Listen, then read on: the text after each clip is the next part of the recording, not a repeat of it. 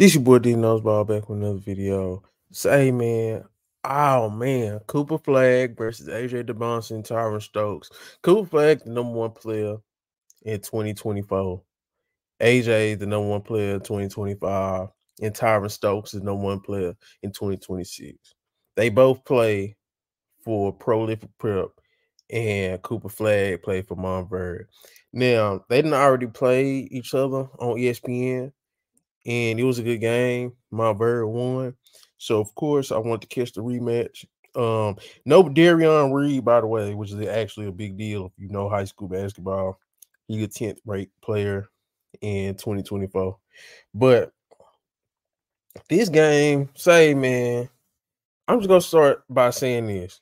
Cooper Flagg didn't have the greatest offensive performance, but with Cooper Flagg, it's about the intangibles.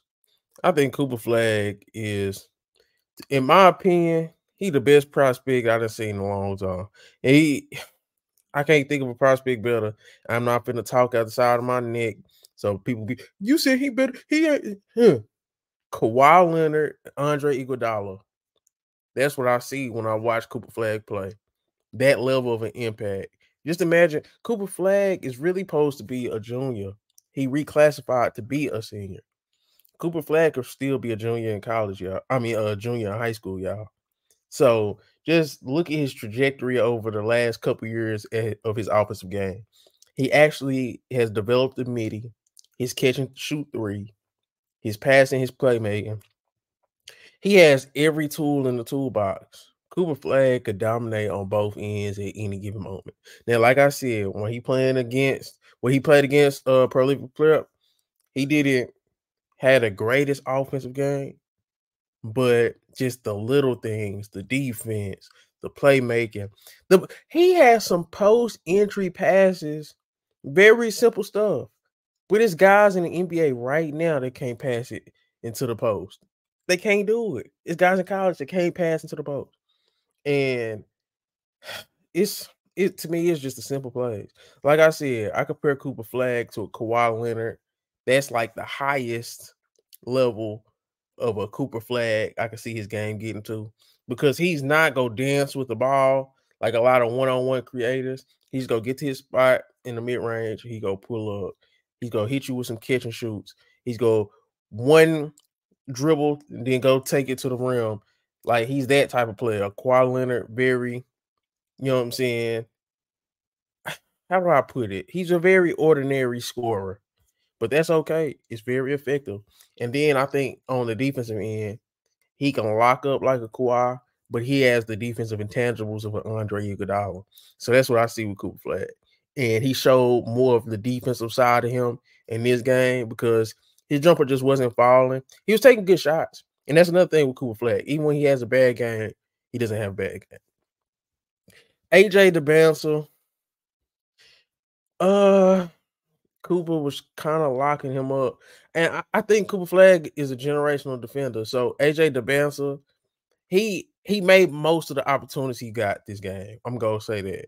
I will say he made the most of the opportunities he got. Like whether it was the three that he got in transition, the, the, the three he got off a broken play, um, cuts to the basket when he beating presses. Like he did all the things you would want him to do.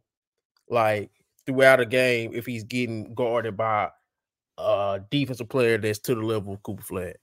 He really did what he was supposed to do. So I, I didn't mind how AJ played. And when I look at AJ Dybantsa, I look at him as a real wing, but it can go two ways. Because when it comes to defense, he can play defense, but is he great defender, solid instincts, he can pass, but is he a great playmaker, solid passer? So he can go one or two ways when I'm talking about his NBA prospects. I see a guy at the top end. I, I, it's like a Brandon Ingram type of player.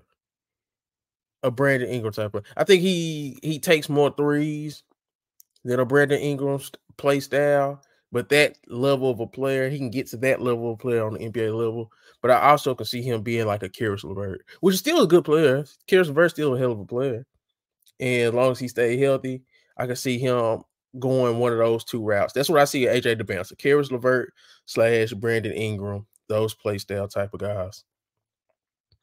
Um, when I look at Tyran Stokes, and uh, I didn't mean not to take a lot of time on AJ Dybantsa, but this game it was just very. He didn't get a lot of opportunities just because the defense of Cooper Flagg. They just keep it a buck. They just keep it a buck.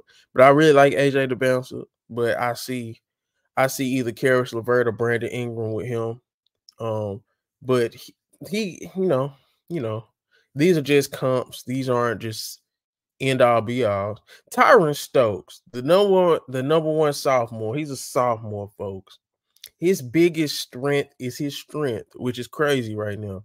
Like they had they had him um get the ball on a pin down and he hit a corner three he was taking, I think he low key, he played Derek Queen at the game.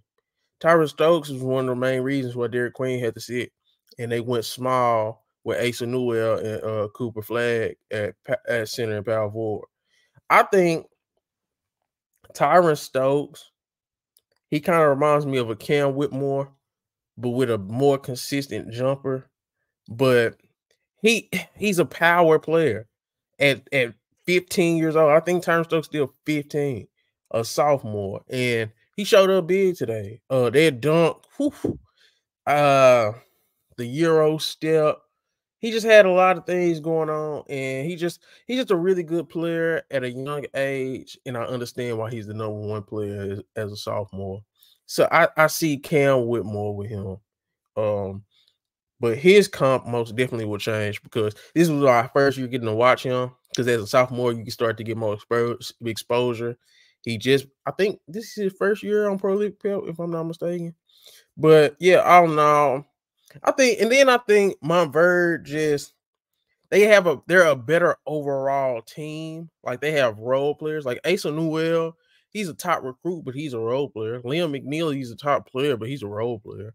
And then you look at prolific prep, and you know, you got the guys like Zoom Diallo, Aiden Sherrell, who are role players, but you have your main guys, and you like I said, they missing Darian Reed, who's a big part of Prolific Prep.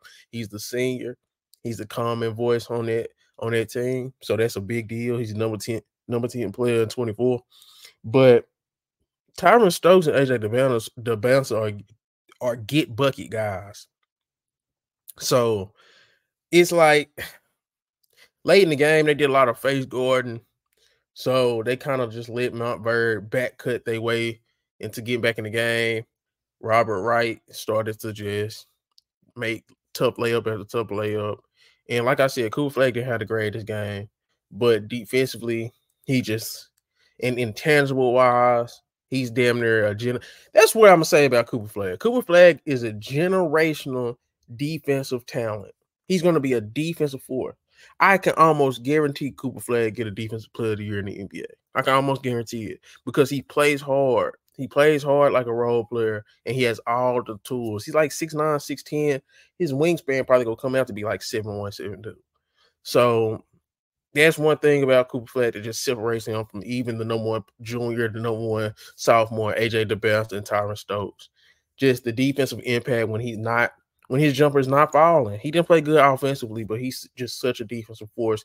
He still is probably the best overall player in this game. But yeah, this your boy D knows ball. Make sure you like, comment, subscribe. Let me know who's your favorite number one player.